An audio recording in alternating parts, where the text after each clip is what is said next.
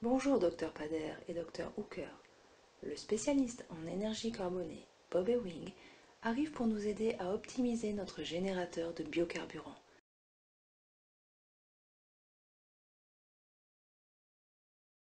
Il débarquera du vol interplanétaire dans deux sols, mais il n'a pas reçu l'entraînement complet sur Terre pour vivre dans les conditions martiennes. Votre mission est, dès son arrivée, de l'informer et de le préparer physiquement à son séjour dans notre base. Merci d'avance.